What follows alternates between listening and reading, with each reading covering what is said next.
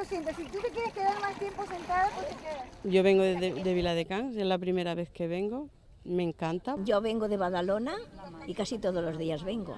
Yo vengo todos los veranos, vengo desde San Juan y la verdad es que está todo muy bien. El servei de suport al bany de les platges de Barcelona treu cada dia més persones.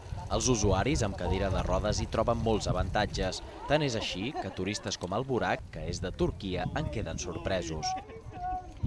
Gràcies a aquesta cadira hidràulica, les persones amb mobilitat reduïda poden gaudir d'un bany sense barreres. Eh, para que suba. Realmente es un servicio cinco estrellas. Ha sido reconocido a nivel europeo el servicio de playas adaptadas. Les característiques de la zona de banys del fòrum en faciliten l'accessibilitat.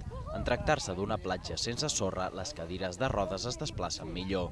Tot i això, és necessari que els usuaris tinguin una certa mobilitat per poder canviar-se de la cadira de rodes a la cadira elevadora. Un cop a l'aigua, la sensació és molt similar a la de capbussar-se a una piscina. Solo tenemos una profundidad aproximada de un metro y medio nada más.